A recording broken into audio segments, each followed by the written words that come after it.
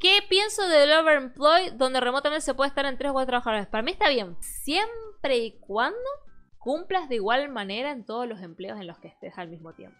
Porque conozco gente que es overemployed, pero falta a las reuniones de un laburo para estar en las reuniones del otro y así sucesivamente y termina siendo irresponsable. Si vas a ser irresponsable, no hagas overemployed. Corta la bocha. Si sabes administrar tus tiempos o tenés uno de los dos laburos que es flexible, no te exige horarios y que no se interpone con el otro, metele ficha. Pero no hacer lo que hacen muchos de agarrar cuatro laburos al mismo tiempo y estar cruzando reuniones. Eso me parece muy poco ético y que encima le está sacando la oportunidad laboral a otro que por ahí no tiene ningún laburo y que está arrancando.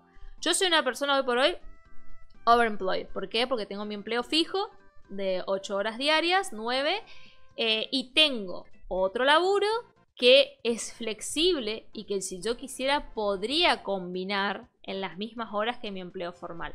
Pero mi empleo formal que yo tengo es mi prioridad y cumplo los horarios y cumplo las reuniones y todo a rajatabla. Lo que me piden es por objetivos igual.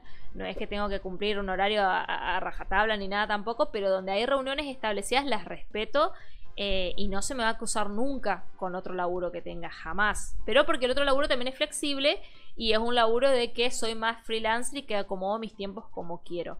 Pero para mí me parece muy responsable la gente que está overemployed y no cumple con ninguno de sus empleos o queda mal en todos los laburos. Eso me parece muy mal. Eh, tengo opiniones encontradas al respecto, pero me parece bien, si sos responsable, me parece bien.